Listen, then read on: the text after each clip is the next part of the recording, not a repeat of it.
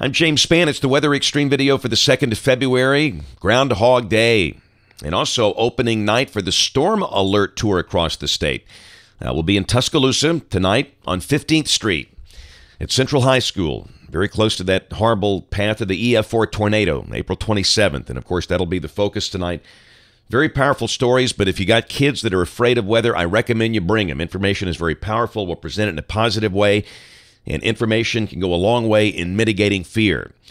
Uh, so uh, we expect a lot of people there. Hope to see you there as uh, we all kind of get together as family and talk about what happened last year. All right, let's go to some of the Skycam shots around the Alpha Skycam network this morning. The fog not as bad. Boy, it was awfully bad late last night. That's the Inverness Skycam. Uh, you can see the cars on 280. We couldn't see them last night, so the fog uh, has definitely improved. Pretty much the same thing on the campus of the University of Montevallo. We could barely see anything last night. And uh, no fog in downtown Fayette, as things are looking pretty good there. All right, big trough in the western states. That will affect us over the weekend. But today we should be in pretty good shape. You know, those numbers just have not budged all night long. Uh, we've been sitting in the upper 50s for about the past uh, 12 to 15 hours. Uh, down in Montgomery, they're sitting at 61. Those are 5 a.m. temperatures, so you know it's going to be pretty mild when you start off the day like that. And around the nation, no really cold air. And it's amazing, you know, the, the continental United States, it is a little oasis of warmth. It is brutally cold over so much of Europe and parts of Asia and Alaska. You've seen all those numbers. Uh, the, the cold wave in Europe is just, uh, it's horrible. So we're blessed. There's our watch warning map and a lot of fog around the nation this morning including uh, all 67 Alabama counties under a dense fog advisory. But again, the fog is certainly not as bad as it was late last night. The uh, big headline it's the uh, winter storm watch out there for the heartland and a blizzard watch for parts of Nebraska. Up on the convective outlook uh, today, the standard slight risk over parts of the Texas panhandle up into adjacent sections of Oklahoma up into southern Kansas.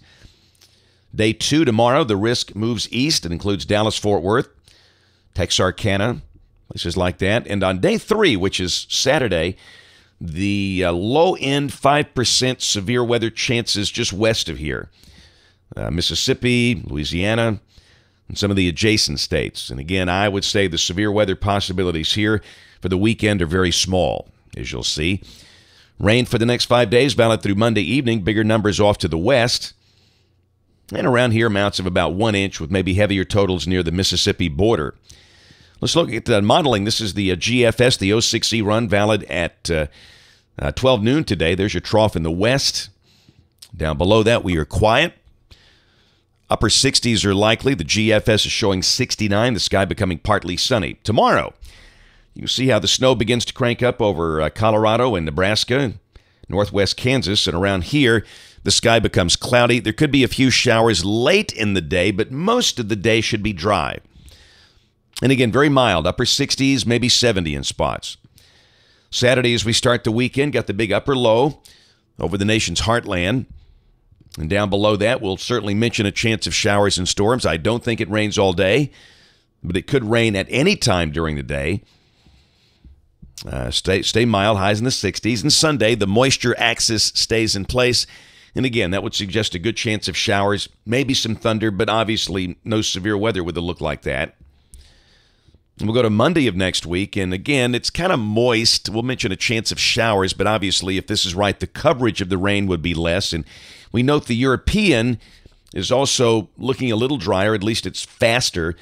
It's got that big batch of rain moving out of here maybe Monday morning. So we'll maintain the chance of lingering showers on Monday of next week. And we'll go to Tuesday, and uh, dry air tries to nose in here, but uh, obviously, the colder air well to the north. In fact, this would keep us in the low 60s based on those thickness values. And now, Wednesday, the moisture surges right back in here with more rain. So, if this is right, we just get that one day break from rain chances on Tuesday and it comes right back. We'll check the European. It's not as aggressive with the moisture return on Wednesday.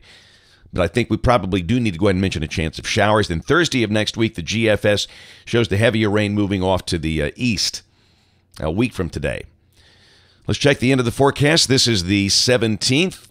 No cold air, if that's right. You know, you need that big western ridge pumped up there to tap any cold air, and it's just not, not in existence. And that looks quiet and mild. And there's the North Atlantic Oscillation. The ensembles, most members of the ensemble there keep it above the positive line. And again, until we see that thing begin to spike negative, like we've talked about for months, it's just going to be hard to get any really, really cold air down here for any extended period of time. That's it for the Weather Xtreme video today. We'll have notes on the blog. The next video here tomorrow, uh, due to the travel schedule and the storm tour, we can't crank, uh, will not be able to crank out one later today. So next one tomorrow morning by 7 o'clock. And again, we hope to see you in Tuscaloosa this evening, Central High School for Storm Alert 2012 It kicks off at 6.30. Thanks for watching. Have a great day, and God bless. The first thing you've got to understand you cannot rely on an outdoor siren. You cannot hear those inside a home, a building, a church.